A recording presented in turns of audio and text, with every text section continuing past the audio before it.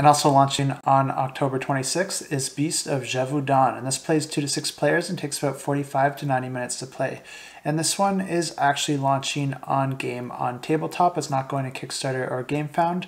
And this is more of a soft launch print and play to gauge the interest. And if this gets enough attention, the designer will want to turn it into a physical game. And in this game, players are taken on the role of different hunters competing to become the most famous and influential. And at the end of the game, the player with the most influence tokens is going to win the game. The catch here is that influence tokens can be earned, lost, but also spent because they double as your currency.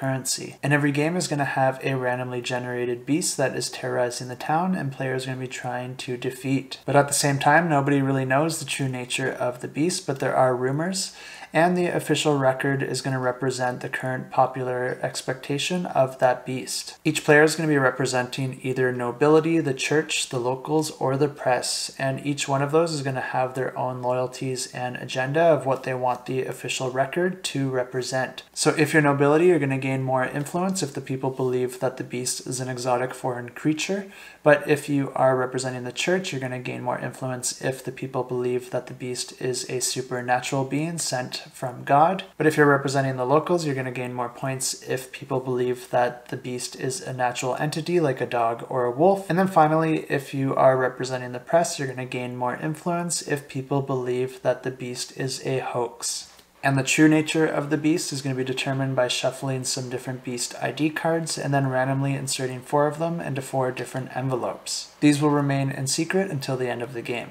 And the game plays over seven rounds, and each round has five phases. The first phase is the bid phase, where players bid for play order. And then during the second phase, players can put their characters out on different action spaces out on the map, depending on player order. Each location grants some different unique bonuses that players are going to be competing for.